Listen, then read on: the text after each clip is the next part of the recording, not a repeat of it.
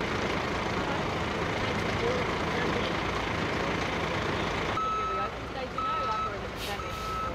there's uh, some damage to the, the cinema complex itself. It's unlikely that the cinemas will reopen today.